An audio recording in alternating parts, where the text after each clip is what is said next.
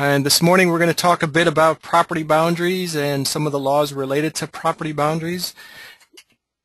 Oops, forgetting to do that. There we go.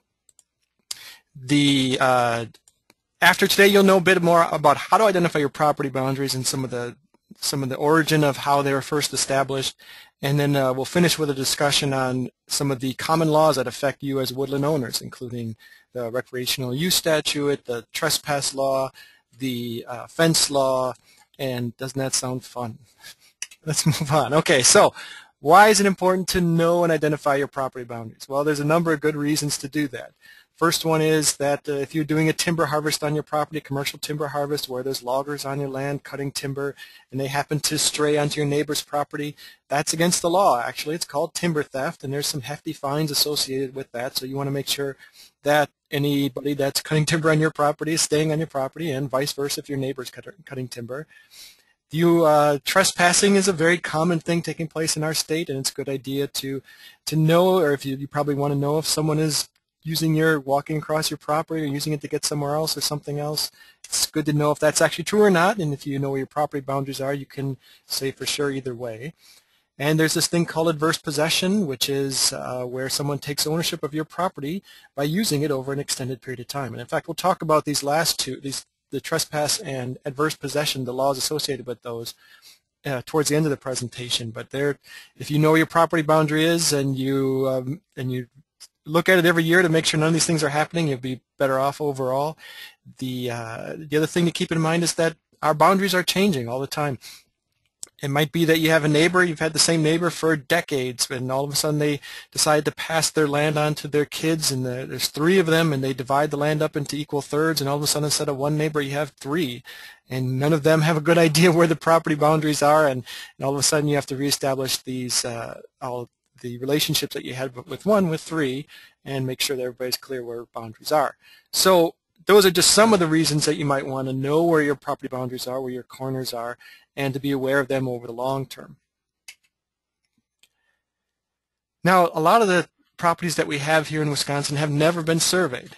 So uh, we might have a legal a description of where our, where our property is located within the landscape, within a township or a county, but there's there's no uh, real description as to exactly where the corners are. And so in our tax bill, we might get a uh, a listing of a string of numbers and letters like this one here that describes exactly where your property is located.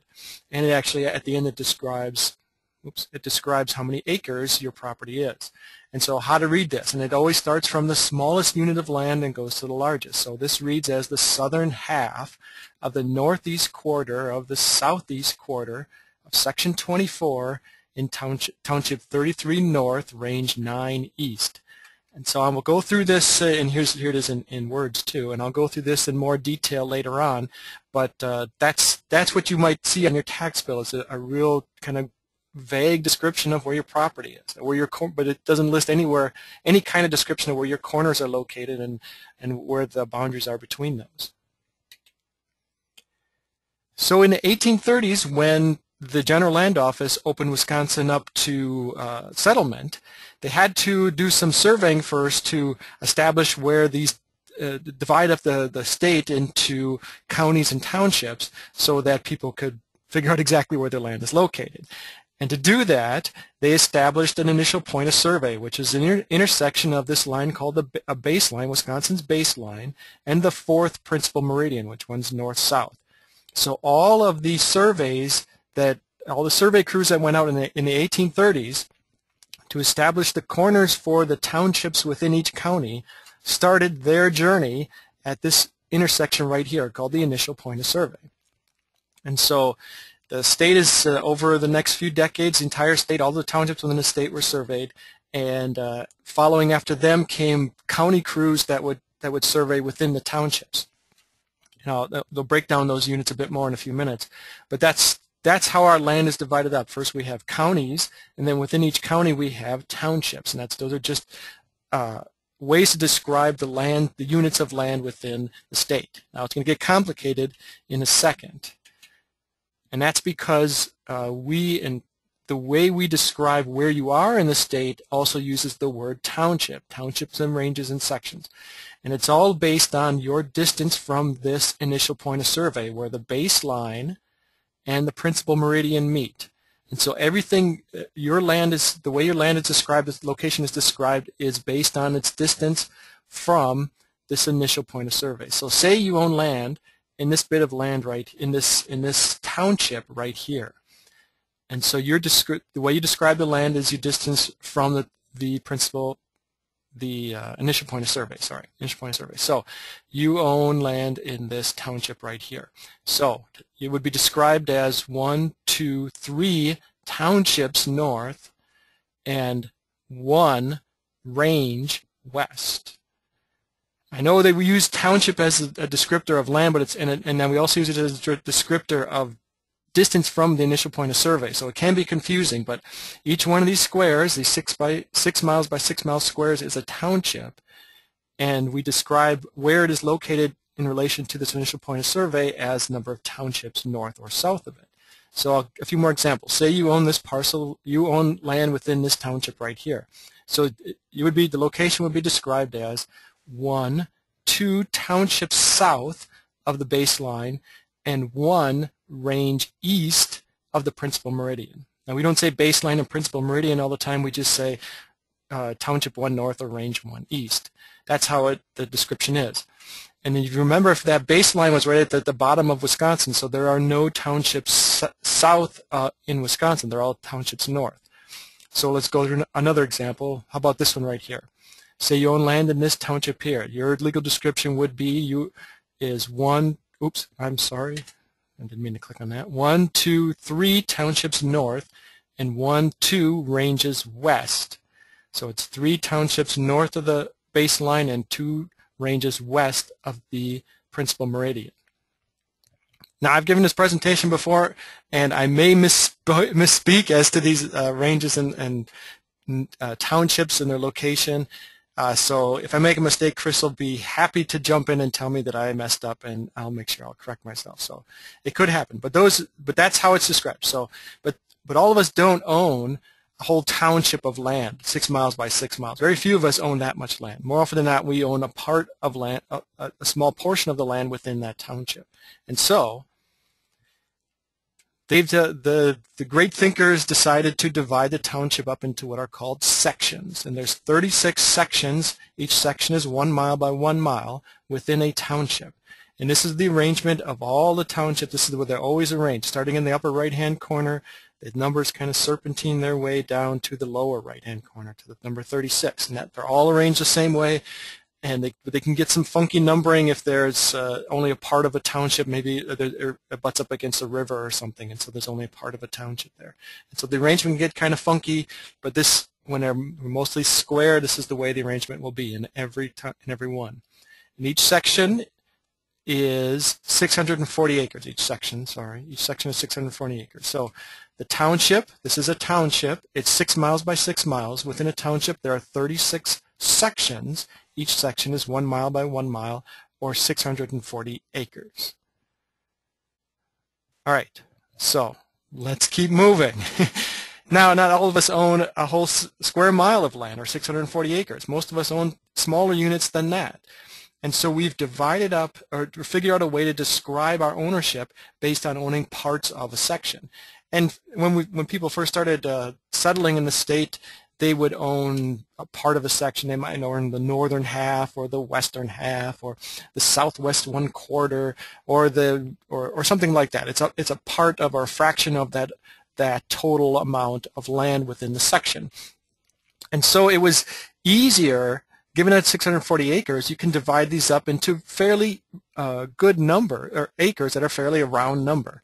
So if you own, let's say, that this part of the section, let's call this section one, you own this part of the section, the, the northern part of the section, you own uh, 320 acres of land. And so your legal description would be the northern half of section one. This is section one. You own the northern half of section one. That's the way your legal description would read, 320 acres. Okay? But let's say you own less than that. Let's say you own only a quarter of it, and let's say it happens to be a quarter, this quarter of this section one. So your legal description would be the northwest one quarter or northwest quarter of section 1, 160 acres. And you can get different kinds of divisions within a, a section. Maybe you own this part. These 80 acres is the part of the uh, section that you own. And so it's it's kind of it's half of this quarter, and then it's and that's located in this quarter. So the description is you own the western half of this quarter, and so it's the western half of the northeast quarter. This is north is the top, south is the bottom, west is over here, east is over here. So it's the western half of the northeast one quarter. Now, if you're having problems, feel free to send Chris a note or send us a note saying, I'm not getting it. Be happy to describe it further, but I'm going to keep going. Let's say you own less land than that, too. Let's say you own this part of land right here, this 40-acre parcel right here. And so it's in this the southwestern part of the, the section, and but it's in the northeastern part of this of this particular quarter. And so the description would read, you this 40 acres, you own this 40 acres. It's the northeast one quarter of the southwest one quarter of section 1, 40 acres. And you can get very descriptive with these all the way down to two and a half acre pieces and it can be the, the legal description can be quite long but it's you can get down to let's let's try this one right here so this is the northwest one quarter of the southeast one quarter of the southeast one quarter of section 1 How are we doing, Chris? Anybody, anybody having problems or expressing that they're having problems? So far, so good. Excellent. Okay. We can go over this again towards the end if you'd like, but uh, I think I'm going to move on. Now, if you do happen to have a survey associated with your property, you might have some other things, uh, units of length to, to think about.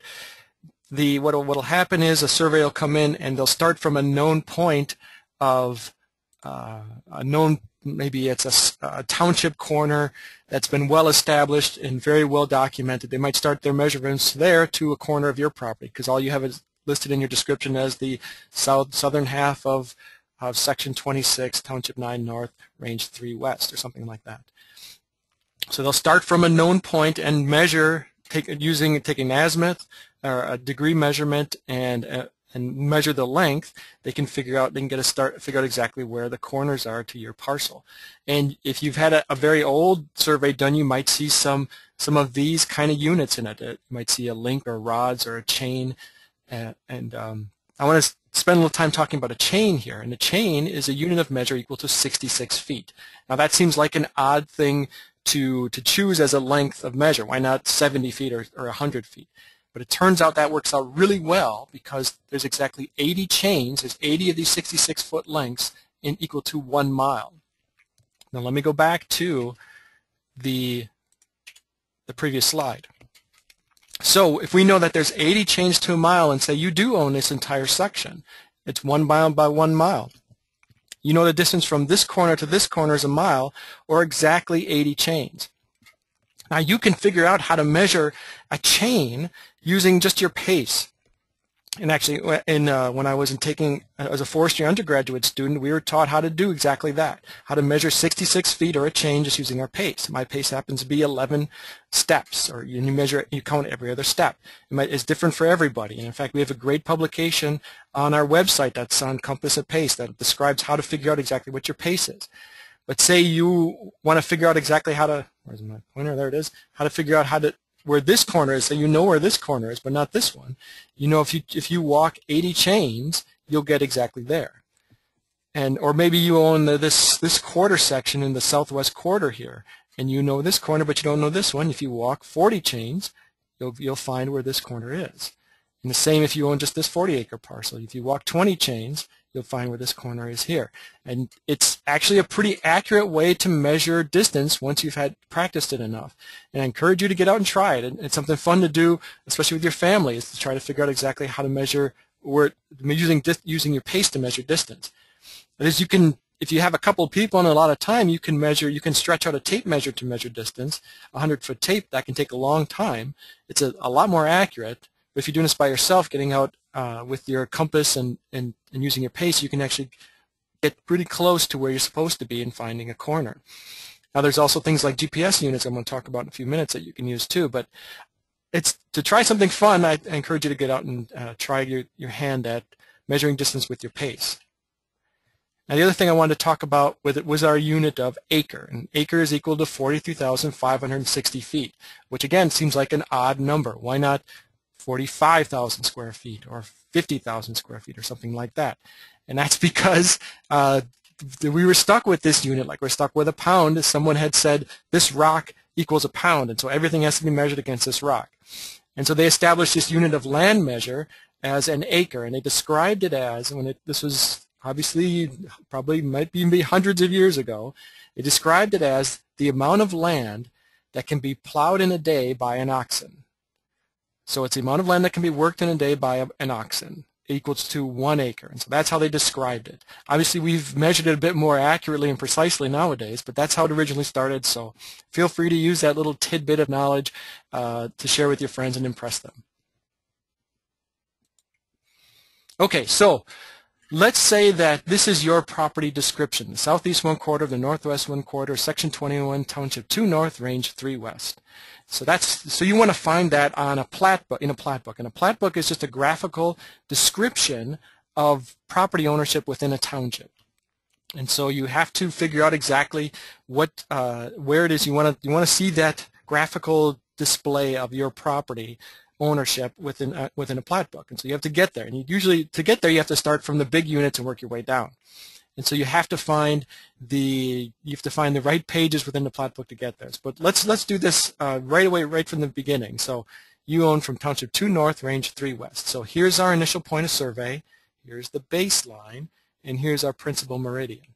So it's Township 2 North, 1, 2 North. Range 3 West, 1, oh, I did it again. I apologize. Range 3 West, 1, 2, 3 West. So this is the township we will be working in. This is where your land is located, somewhere in here.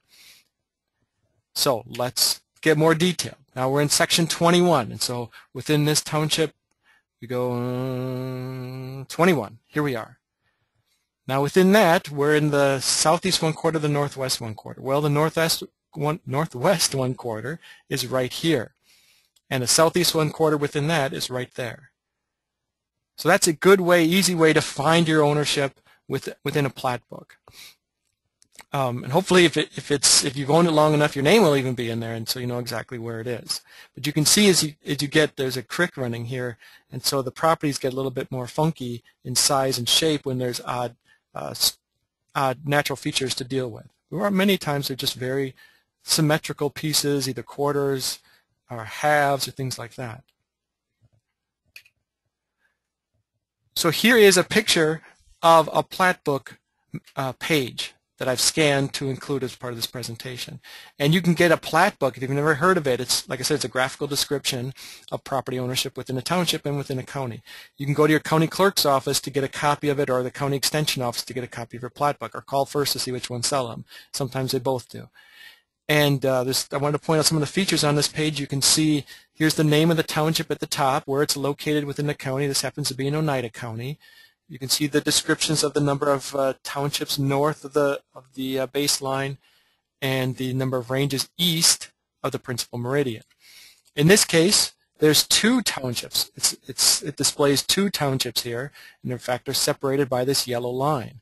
So this is Pine Lake, and this is uh, Newbold, the two townships. Also displayed are the highways. Uh, you can see the and some water features in blue.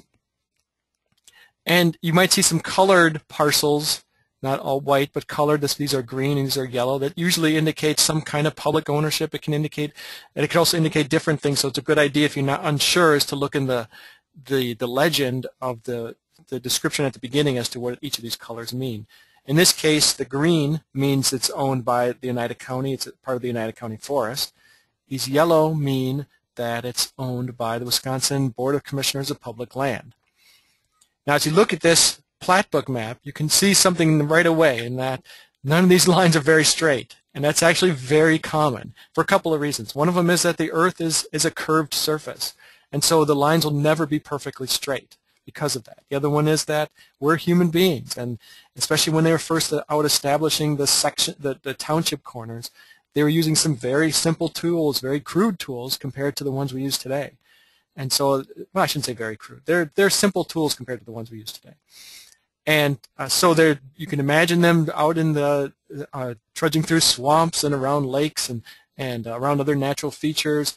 That sometimes these lines aren't perfectly straight, and it really depends on the uh, the surveyor at the time and how good a job they did. If it was there was no other water features or anything and it was perfectly flat, these lines might come close to being perfectly straight and these squares might be close to perfectly being square, but more often than not, that's not the case. Another thing you'll notice on the plat book page is these arrows between blocks of ownership.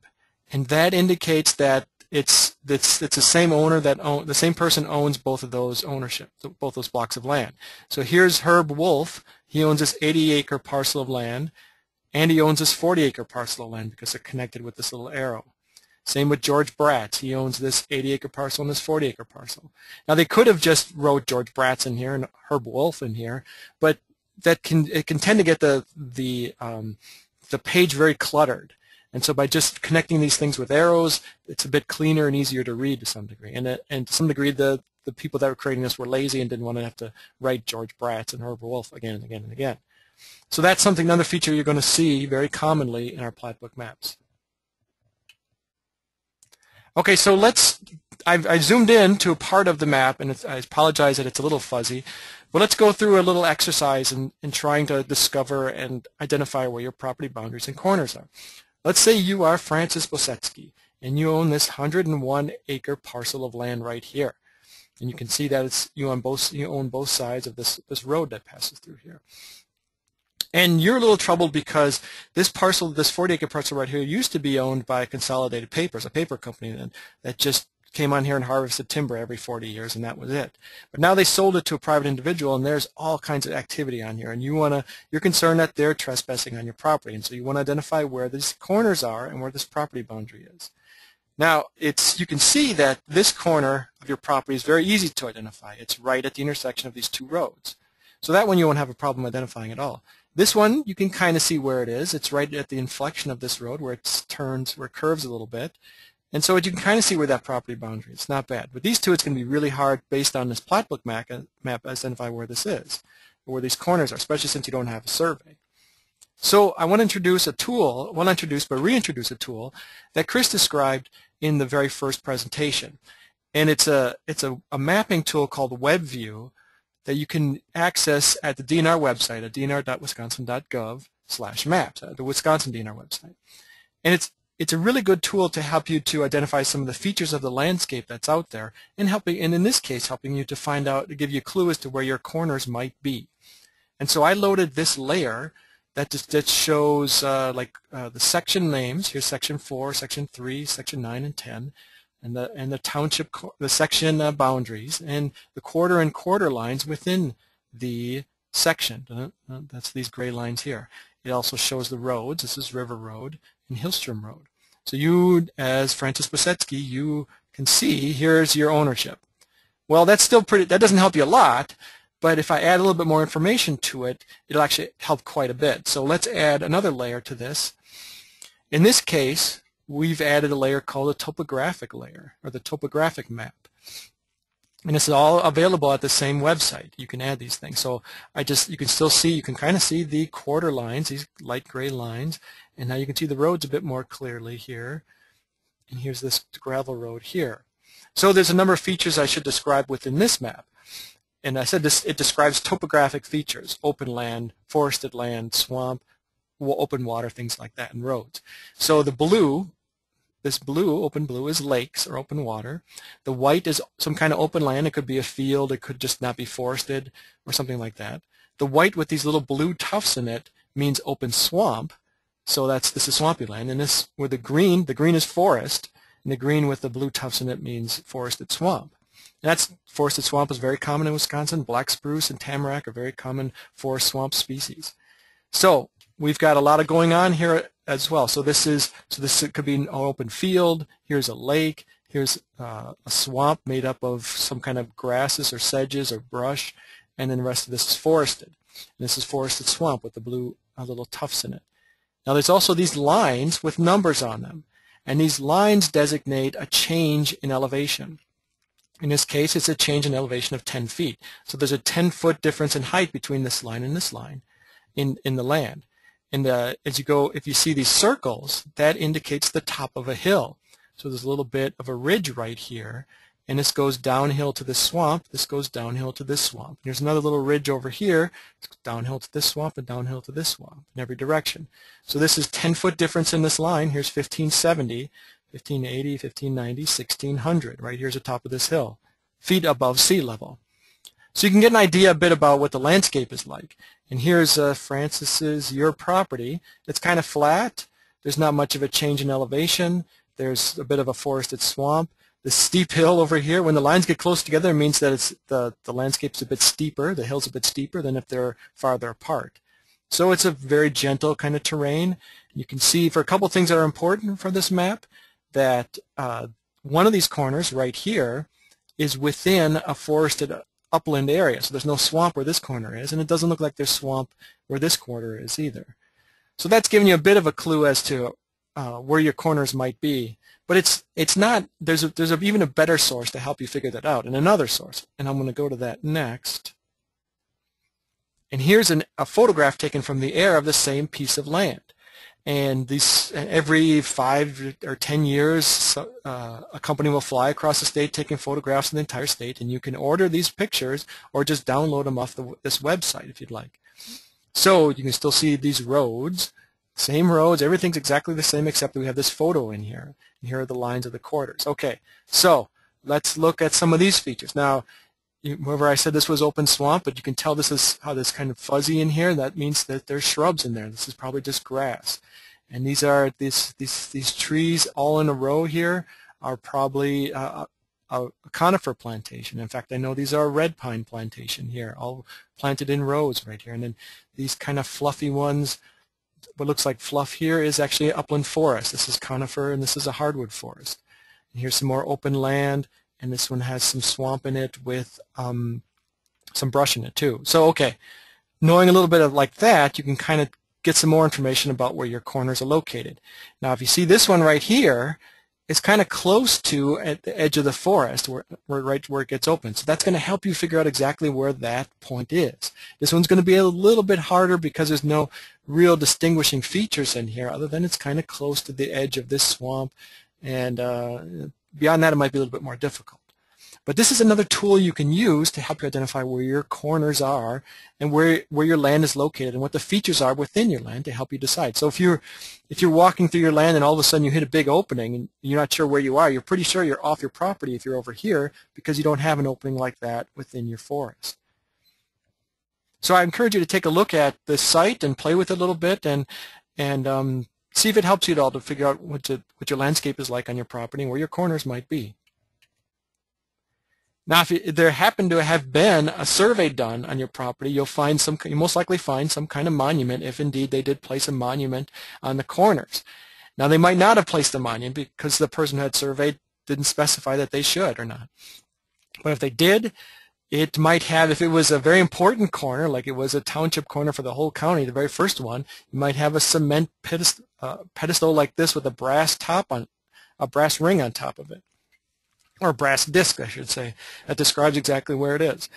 Most of us don't live in those kind of locations, so we might, if it had been surveyed and they put in a monument where the corner is, might have a stake or a pile of rocks or a cross on the top of the rocks or just an iron pipe with a bend in it to make sure it stays in the ground. Now that's if it had been surveyed and if the, the monuments are still there that haven't been knocked over by a tree falling down or you running over it with your truck or something or your neighbor running over it or, or something like that. So uh, if it is there and it's still intact, that's what you should be looking for. I talked a little bit about some of the getting out and trying to find them, your corners yourself. Uh, I talked a little bit about using your pace, 66 feet uh, for a chain, and you can uh, rattle off the chain as you walk along. It actually is pretty easy, and and uh, you can be pretty accurate once again. Using a, a, compass is the first way I learned how to traverse through the woods. Here's a picture of a compass and a map. It's actually another way to be pretty accurate, unless you're over some uh, magnetic formations in the ground. it, it's usually a pretty accurate way to find your way in the woods. You can either do it alone or with another person to be out with a compass. A lot, a lot of people have turned to these global positioning system units. They have them in, a lot of folks have them in their cars that tell them where to turn to find a, certain place. And but there are handheld units that you can use. Where's my pointer? Like this one right here. When you're out in the woods or anywhere to find a location, and it uses satellites to to determine exactly where you are. Now the downside of these handheld GPS units is that they require a signal from a satellite for them to work right. In in the open, they work great. When you're underneath the canopy of a forest, especially in the summer, the, the signal can get blocked, and your accuracy, that affects the accuracy of, of determining where you are. So if you're out in the open, the accuracy might be put you within three feet of exactly where you are. But if you're in a forest, it might be 30 feet away, or even up to 300 feet away, depending on your location. So keep that in mind as you're using these the, a GPS unit in the woods that accuracy might be limited to uh, based on your location, especially if you're in a valley or uh, if there's a lot of trees above you. They work pretty well, and, and uh, I'd say give it a try if you're trying to find your corners. If you're not having much luck using a compass and pace, try if you don't have one, borrow one. They're not that expensive. A couple hundred bucks will get you a nice recreational unit that'll work pretty well. And you can type in a location in some of these, and it'll take you right to where you need to be which is can be really easy. so, but say you you can't find that those corners, and you really need to know where they are, and so and for a number for a number of reasons, you might consider having someone come in and conduct a survey on your property. Some of these reasons include um, the your property is being you're dividing up your property or or, par, or cutting off a parcel of it to give to uh, a son or a daughter or something, and it's a good time to get the the the, the land surveyed. If you're selling the land, that's a good, another good time to get land surveyed so the new owner knows exactly where they're getting and you're describing it accurately. If you're putting any improvements on the property, you probably might need to get a survey done, especially it's a good thing to check with the county if you're putting in an addition to your house or you're putting in a septic field or something like that. It's a good idea to, to check with the county to see if you need to have a survey done to, so those places can be identified exactly. So those, I'm sorry, what you're putting in, what you're building can be identified exactly. It can be located precisely so that to make sure you're the correct distance away from any property boundaries. Sometimes you're required by the state, federal, or county government or town government to to have a survey conducted for a number of different reasons. Maybe you're near water and you put your building something as already mentioned, or something else. There's all kinds of reasons where you might be required to have a survey done. Uh, fortunately, it doesn't happen that often, but it could happen. And uh, like I said, maybe you're uncertain as to where your corners are, and you might have a dispute between you and your neighbor as to where the corners and property boundary is, or you're you're afraid that, or you're seeing that you're thinking that someone is trespassing on your property, and you want to make sure that indeed that's the case or not, or maybe that someone is encroaching upon your property and they're they moved their fences too far onto your land and using your land instead of their own. It's another good reason to have a survey done. So what it'll do or show, what'll, what'll happen when you get the surveyor out, doesn't have to be a man, I know that's kind of a dated picture, it doesn't have to be a man, but it, uh, what, what are they going to show? That Well, they can show a lot or a little depending on how much you're asking them to do and how much you're willing to pay for. The more you're asking the surveyor to do, the more expensive it's going to be to have this process done but they can establish the boundaries of a property between one or the other. They can establish the corners. They can they can locate where your improvements are, where your buildings are, your septic fields, things like that. They can they can tell you exactly where they are, and then they can create a map of all of this, and then file it with the county and record it with the county if that's what you like. Again, the more stuff you ask them, the more expensive this is all going to be. But that's something they can do, and and, and if you have the time and and inclination, and they're willing to agree to it, you can travel along with them as they do their work on your property. And I encourage you, if you can, to ask them, and then just don't be a pest, but follow along and see what they're doing, and, and, and ask questions. If they start, if you're asking them to, to establish boundaries, to show where the boundaries are, they might use paint, paint or flagging to identify boundary trees or, and show, show and establish a visual cue as to where the boundary is between the two properties. It's a good idea to watch them as they do that, maybe take notes so that years later, uh, you know where those are, and then you can keep establishing them if the say the paint starts to wear off or the flagging starts to degrade and fall down, or your neighbor decides they want to move some stakes or something. Make sure you've taken notes so you can restore those to where they were before. How do you find a surveyor? Well, in fact, we're lucky in Wisconsin, or probably in many states this is true, that the surveyors are licensed here in the state, and you only want to work with a licensed surveyor. And so I encourage you, if you're looking to uh, get a surveyor, to visit the, the Wisconsin Society of Land Surveyors website, wsls.org, to find a surveyor. And there's, there's a link right at the top of the page that says Find a Surveyor. And you can learn a little bit more about them, uh, what surveyors do, what their society does. I I like the idea of working with someone that's affiliated with a professional organization. That says to me that they're committed to the profession. It's a, a bit more important for for a forester or a logger because we're not licensed, we're not really certified by the state, and so anybody can say they're a forester or a logger, but and, and anybody can paint some put some paint on the side of their truck, throw a chainsaw in the back, and say they're a forester or a logger. But at least this affiliation with a professional organization shows their commitment to the profession. And this is true for surveyors as well. So I encourage you, I don't, I don't get any kickback from the Wisconsin Society of Land Surveyors. I think it's just a good place to start. And I encourage you, take a look at their website, especially if you're thinking about hiring a surveyor. I said cost can, depend can depend on how much you're asking of them.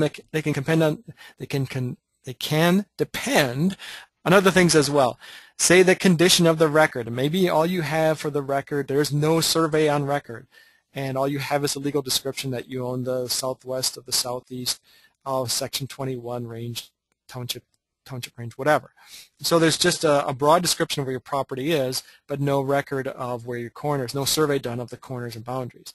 So that it'll charge, it'll cost you more if that's the case if you have a recent survey done and they're just checking that survey, it'll cost you less. But if the survey was done, say, in the 1920s or 1890s or something like that, a very old record, they might it might be uh, different. The conditions might be such that they're not able to get as accurate uh, find those points as easily from the recorded survey. So it might cost you more because of that.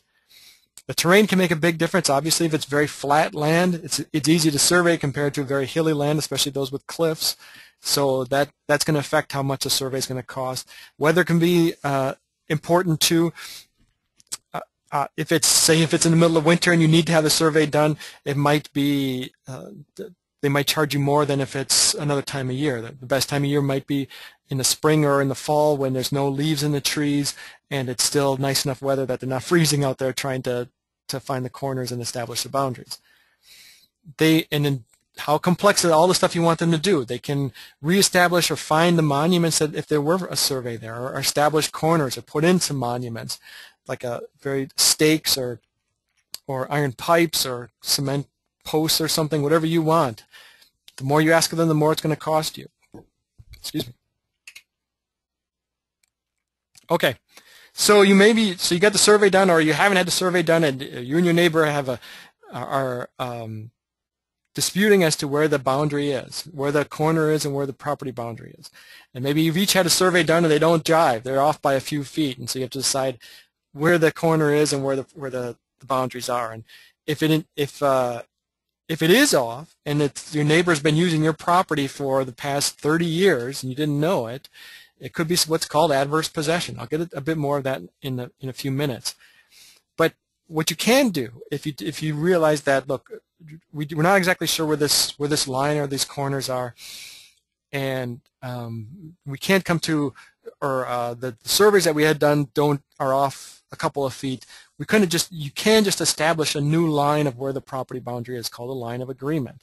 And uh, if you're going to do that, you, you have to work with everybody that, that is tied to the ownership of those parcels, including the banks that hold mortgages. But you can establish a new line of agreement that where, that where the boundary is. But if you still can't decide, uh, you can't resolve it with your neighbor, and you decide you want to take it to court, you it's what's called a declaration of interest in real property. And if it's um, you need to do it as quickly as po possible when you discover that there might be something wrong. If it's been decades that this has been going on, you probably won't have much of a case. But if it's just started in the last couple of years, you have a lot stronger case to make to enforce your right on your property. So get out there. Once, if you get a survey done or if you finally found your corners and you think you know your property boundaries are, get out there and walk the lines at least once a year. If you've had it flagged or painted where the boundary is, Go out there and make sure that stuff is still on the on the trees, or the stakes are still out there, or your corners are still there where they're supposed to be. Make sure that people there isn't anything new going on from your neighbors. They're not crossing property lines, or not usually utilizing your property or something like that. Get out there and walk your land at least once a year. Here's another excuse to get out and have some fun on your property. I, I want to talk briefly just about access to your land. Now, you can, there's parcels that don't have, parcels of land that don't have uh, road frontage. And so without road frontage, it can be hard to get to your property unless you have a helicopter. Many times with road parcels that don't have road frontage, we have, we get access to property via uh, what's called an easement over someone else's property. That's not guaranteed. And in fact, uh, people have often bought landlocked, what I call landlocked parcels that, uh, and cannot get access and they have to go to courts to get access. But an easement, a written easement that's that's tied to the deed and it's signed by uh, both neighbors is the best situation to be in if, you, if your parcel doesn't have a road frontage. Because the goodwill of the neighbor might change and there's no guarantee that the next owner will agree to that easement. You can get a prescriptive easement uh, done by, the, by a judge. Obviously that's going to cost you money or you can get the town board to condemn a right of way for you, and which is not necessarily very likely. It does happen, but it's not as likely. So if you have a, a parcel of land that doesn't have road frontage, uh, you might have issues that you need to resolve with, uh, talk to a lawyer or talk to the county clerk to see what your situation is. Okay, let's switch gears and talk a little bit about some of the legal issues surrounding uh, owning forested land. I want to start off by saying that I'm not a lawyer. I have a bit of knowledge about some of these laws that I'm happy to share with you, but uh, ultimately you may need to turn to uh, a lawyer or especially talk to your county clerk if you've got things you can't figure out or resolve. If you're a member of uh, Wisconsin Woodland Owners Association, there was a, an issue of their magazine in the fall 2000 had a lot of great information about these issues, legal liability and trespass and fence laws. Let's start with the recreational use statute. It limits your liability if someone happens to get hurt or injured on your property. It says that you do not have a duty to inspect your property, to keep it safe, or to give warning of an unsafe condition. Because when I get to the trespass law, people, I'm going to describe how people are responsible for knowing where they are in, everywhere, anytime they're out in the woods. So you're not responsible to, or have a duty to inspect your property, keep it safe, or give warning, unless you give permission for people to use your property. Then it changes completely. But Ultimately, if you're the only one who uses your property, you don't allow any access, you don't have a responsibility to keep it safe in, this, in these ways.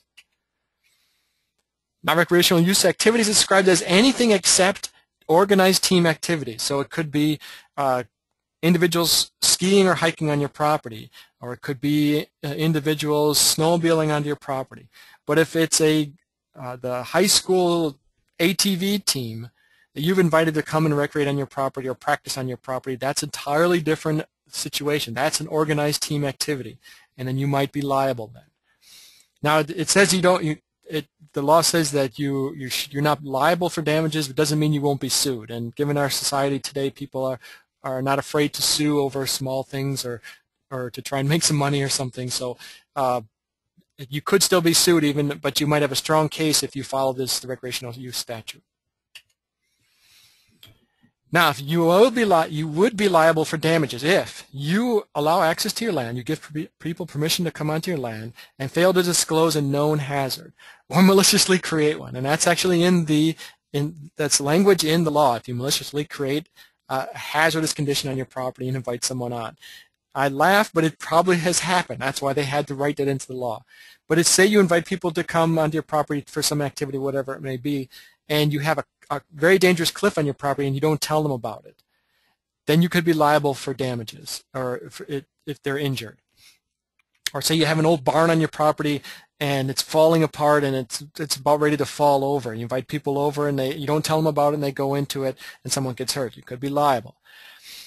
Another situation is if you accept money from people to use your property for whatever reason, and if it's over $2,000, then you could be liable for damages. And so the key is $2,000 in a year. And so the key is that $2,000 number. If you're going to accept money from people to use your land, make sure it's under $2,000 so that you're not liable if they get injured.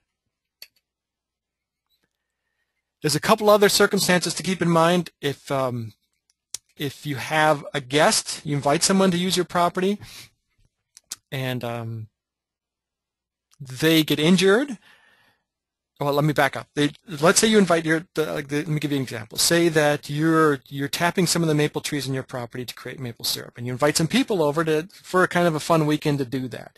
They go and they collect buckets from the trees and bring it over, dump it into the vats, and, and you boil it off. It's a fun thing to do all day. If they get injured while doing that, which you've explicitly invited them over to do, you could be liable. Now, if they decide that they're going to go running through the woods, and you didn't invite them to do that, then you might then you wouldn't be liable because you're inviting you're they're not participating in what you invited them over to do. Another circumstance is say you invite a group of people over for a dinner party. So the idea is they just stay in your house and they they participate in this dinner party. Now if someone within that dinner party decides they want to go and walk through the woods and the, and they get a certain distance away from your house, say over 300 feet, I don't know why 300 feet, but 300 feet, if they get with 310 feet away from your house and get injured while they're walking through the woods, you would not be liable because they're participating in an activity that you did not invite them over to do. So if you invite them over to, at your house and they get injured while you're doing stuff that you invited them to do, then you could be liable. But if they're out doing something on your property, just like a trespasser then, you're not liable for the, if they get injured because they're not doing what you had invited them to do. Another situation is if you hire someone to do some work on your property and they get injured in that work, you could be liable for injuries. And so you need to check with them to make sure that they have their own liability insurance before they do any work on your property. And what I've been told is that if you're going to ask someone for to see the proof of their liability insurance, you should give them a couple days because it, it, they might have to get a copy from their insurance agent. And so if you're talking to someone that might clear some trails on your property and say, okay, you want to come out and take a look at it, give me a couple days, give them a couple days to, to make sure they have a copy of their insurance so they can bring it to you and show it to you before you hire anybody. So there's, there's a few things you can do to protect yourself. One is to remove any hazards that are out there, like the old barn. If you got an old falling down barn, knock it over, destroy it so that it's not a hazard at all. If you have a cliff, make people aware that it's out there. Tell them that it's out there. Put up signs that it's out there. Block access to it if you can. they know this is a sad thing to do in our society, but if you're inviting people over and you're really worried about liability, you can develop written releases for them to sign so that they won't sue you or, or uh, uh, in case they get hurt. I know it's a sad thing, and if you got friends coming over asking to do that, it's kind of a sad thing that, to do, but if you really want to protect yourself, I encourage you to do that. Also establish some written rules for how the activity is going to take place on your property. If you're going to, you want inviting people over to collect sap, and boil it down. You just say, okay, this is what we're going to do. You walk with the bucket, you don't run, you dump it down in here, and you don't go anywhere else. Those are the rules. Or uh, if you're going to be walking on my trails, you stay on the trails. You don't run. You don't uh, ride ATVs on them. Stay on the trails, and you uh, and everything will be okay. Now, if you're going to have a special activity on your property, it's a good idea to get like many landowners will invite a class of, of elementary or high school kids to come on their property, learn a bit about forestry and forest management and, and about how they're managing their forest. It's a great activity. A lot of people do it. If you're going to do that, I would encourage you to talk with your uh, insurance agent about getting just a one-time special event or activity liability insurance um, premium, I guess. No. Yeah.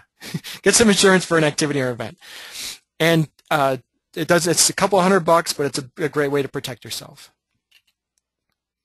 So let's move on to trespass law.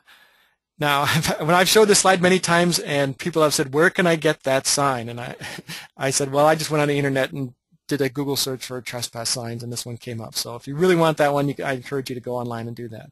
But trespass is defined as any person who enters your land or stays without your specific permission. That's as clear as it can be. And in 1996, they revised the law here in Wisconsin. And it shifts the responsibility to people doing recreation knowing exactly where they are. It's an away from your responsibility as a woodland owner to describe where your property boundaries are. And so you no longer have to post no trespassing signs all around the property, all around the borders of your property.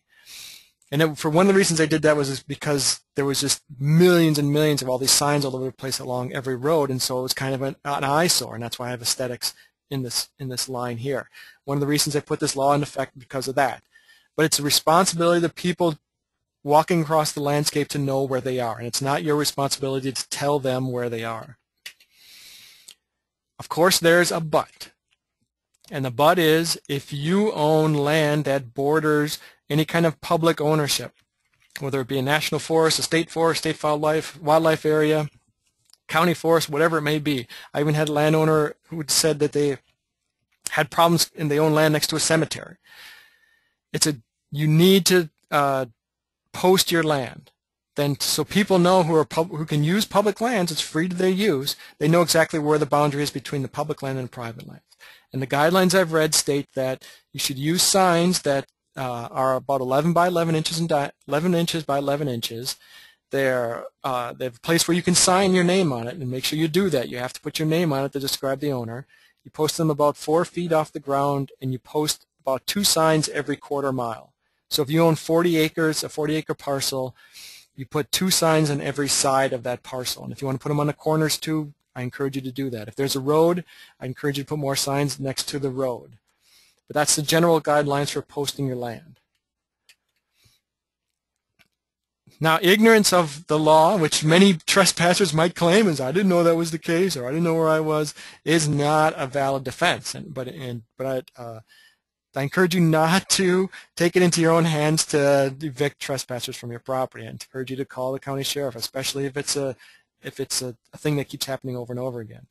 And the rules state if you're a deer hunter and shoot a deer, and the deer happens to run onto a neighbor's property, you have to get permission from that landowner to cross onto their property to get a deer. If you can't get a hold of the landowner, you have to contact a conservation warden to come and get the deer.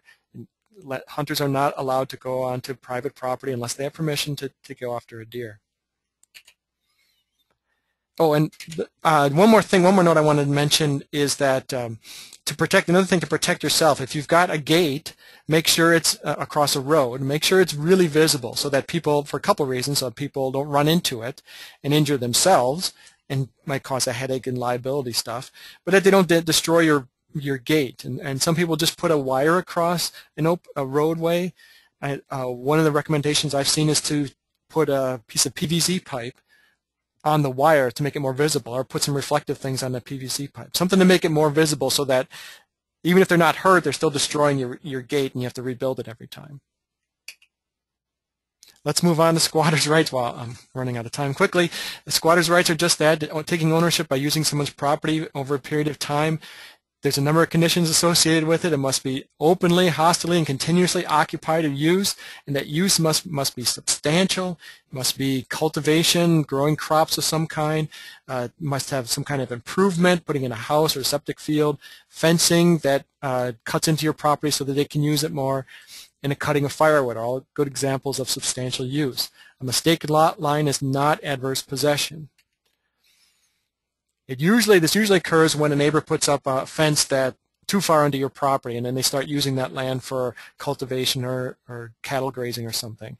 It doesn't happen very often, but it does happen.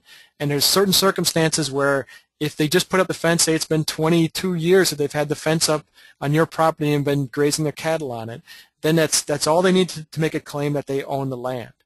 But if, they, if they've been up for less, fewer years, and they've had other things going on, like they've had a written document or a deed or a judgment from the judge that says that uh, they can use the land and they paid taxes or they have a written document and it's been 10, 10 years or less, they can take possession of the land. These, these two cases I'm not as familiar with, the 7 and 10 year circumstances, but if it's been more than 20 years that they've been using the land, they, have a, they can make a good case for taking adverse possession of the property. And here's a couple of examples. Maybe your neighbor has put up a building that's two feet over your line or has built a garden onto your land.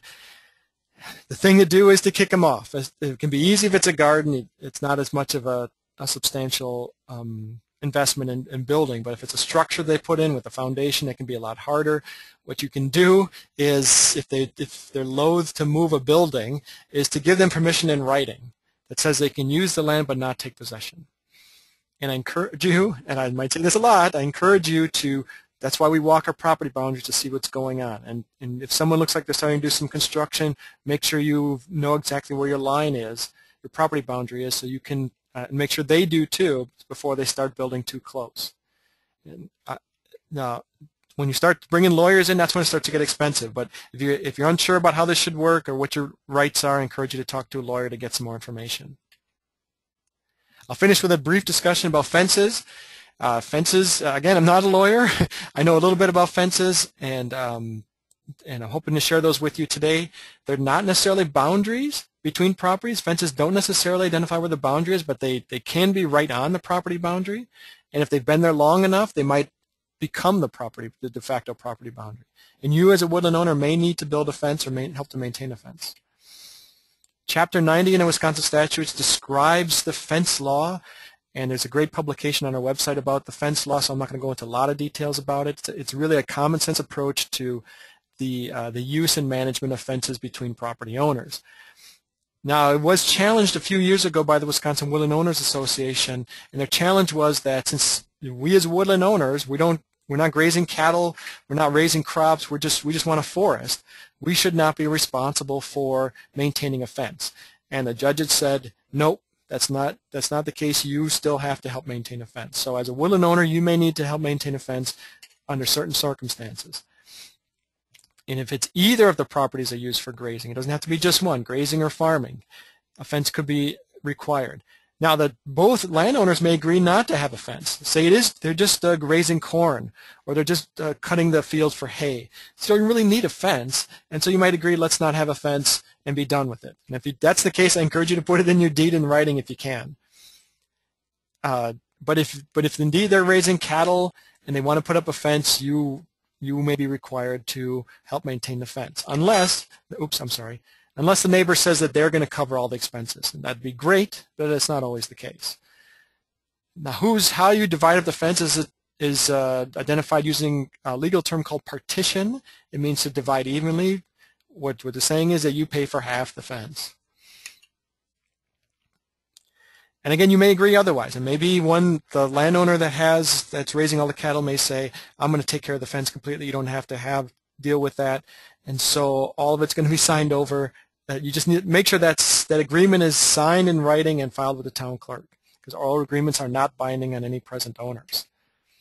And this is how it works. Say you're this, you're this landowner here, you're farmer A, you're farm A, and you're surrounded by three landowners who want to graze cattle. So you have, and this is the fence around your entire property. As you're looking, as you're standing and looking at your neighbor's property, as you look all the way over to the right, where the corner is, you are responsible for maintaining the fence, starting from there to the center of the fence. So as farmer A, you're responsible for this part of the fence. Same thing with the, with the landowner to the north. As you're looking at their property, you look all the way over to the right, to the corner of the property, right here. You're responsible from there all the way to the center line between of the fence. You're responsible for that part. Same with the landowner to the west. If you if you if it's a road and you want fence, then you're responsible for the whole thing. So that's how it works. That can be kind of confusing, but you're responsible for the right side of the fence basically, and you're and you're the other landowner responsible for their right side of the fence as they're facing the fence. Water can be a fence. A creek or a river can be a fence between two properties. If it's uh, shallow then and you want to put up some kind of man-made fence, it has to be on either side or you can alternate between sides. It cannot cross the, the stream or creek. You have to be able to allow people to utilize the body of water, whether to boat or to walk it. If you've got a dispute about your fence, uh, you, you go to you go to the town board and they appoint what are called fence viewers. They're usually town supervisors to come out or talk with you about what the dispute is and, and resolve the fence issues. There's a number of different things that fences can be made out of. I want to draw your attention to the electric one. If, if a landowner wants to put up an electric fence, it has to, both landowners have to agree to it, and they have to agree to it in writing, and it has to be at least two wires. So if someone comes to you and says, we're putting up an electric fence and you don't want to, you do not have to agree to that. And good fences make good neighbors. I encourage, I encourage you, once again, uh, to work to establish good relationship with your neighbors. Save yourself a lot of money in legal issues, and if you can resolve things on your more on on your own, that's more that's more power to you. You'd be a lot happier. There's a lot of resources out there. I want to point your attention to this book if you want to get some more information about the legal and financial practical matters. It's called Owning and Managing Forests by Thom McEvoy. I think I'm just going to leave this slide up as I finish. Uh, all these publications are posted on our on the website for the webinar so I, my, my last word is get out there on your property and keep an eye out. Try to find your corners and boundaries. And um, if you try to keep an eye on, on your boundaries to make sure nothing changes and learn a bit more about some of these legal issues if you think you have a problem with any of these. and we're right up against 1 o'clock and have to end. So I apologize that it went long, and I hope you got a lot out of this. If you have any questions that uh, Chris wasn't able to answer during the webinar, feel free to send me an email, and I'll be happy to uh, address them or or the ones that weren't addressed during the presentation by Chris, I'll be happy to address and send you something afterwards. But with that, I appreciate